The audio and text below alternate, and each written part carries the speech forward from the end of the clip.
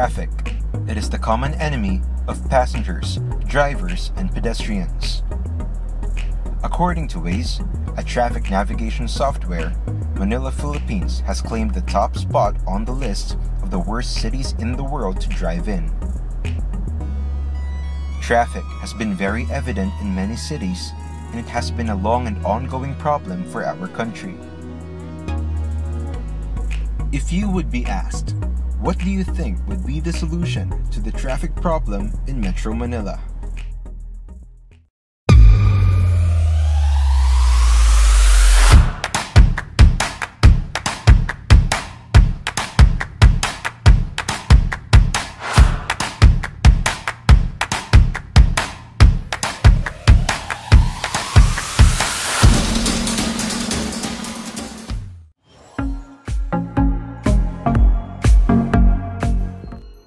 This is the Elevated Bus Rapid Transit, an innovative bus design that straddles over traffic through a transit system.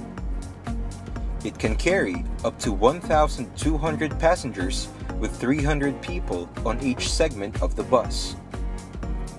This elevated bus runs through fixed tracks with distributed bus stations, allowing the vehicles to stop by for passengers and recharge through the solar panels embedded on the roof of the bus. Private and public utility vehicles can pass underneath the elevated bus without causing traffic. In order to avoid collision, the elevated bus has sensors installed to yield signals if there are vehicles nearby. This straddling bus could save up to 2,640 tons of carbon emissions compared to riding conventional buses. Another advantage is this bus can run through a speed of up to 60 kilometers per hour even on challenging road curves.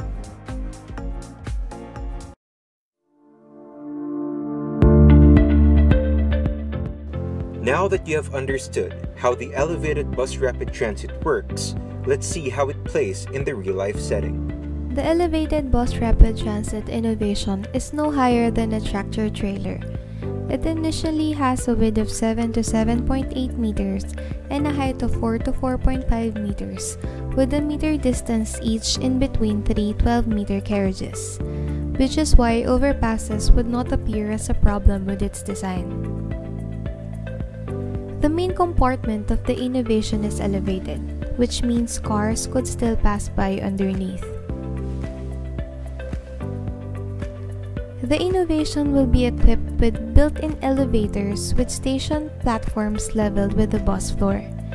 This is for the convenience of its passengers such as easy boarding, accessibility for disabled people with minimal delays. The transit will also be equipped with number of carriages which can hold up to 300 passengers each.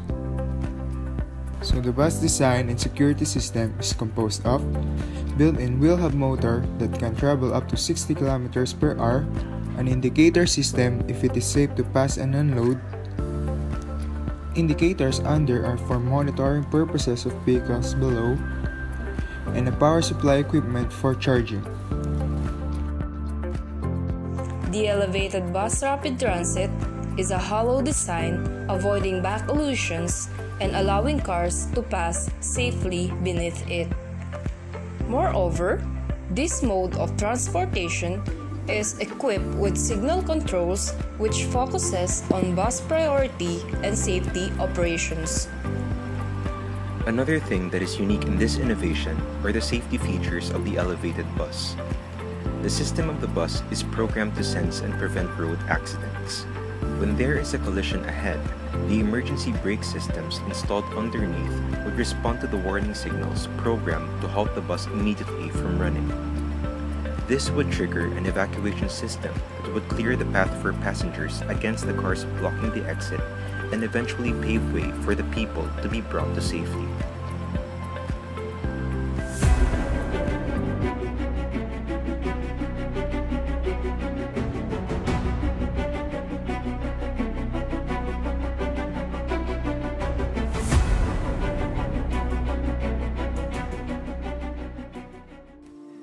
The performance of the elevated bus rapid transit was studied in the 13 cities of China. This data will be the basis whether the modern transit system can be applied in the Philippines, specifically in Metro Manila. The recorded peak ridership on 13 systems in China averaged over 5,800 passengers per hour per direction. 10 systems carry less than the average, However, the top corridor demand was observed from Guangzhou, China Bus Rapid Transit, carrying 29,900 and 843,000 passengers per hour per direction on an average day, being the highest capacity bus rapid transit system in Asia alone. With these data, what is the impact of urban characteristics to technical performance of the elevated bus rapid transit? The potential urban characteristics such as population, population density, GDP per capita, and congestion level may influence the technical performance of the elevated bus rapid transit in terms of peak ridership, commercial speed, and frequency.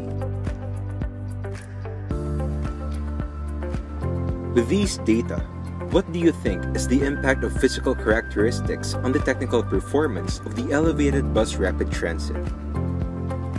The following variables of physical characteristics which may affect technical performance include total length of the corridor, percentage of segregated busways, average station spacing, number of stations with overtaking lanes, BRT vehicle length, pre-board fare collection, signal priority at the intersections, and routes operated both inside and outside the bus rapid transit corridors. This is the elevated bus rapid transit.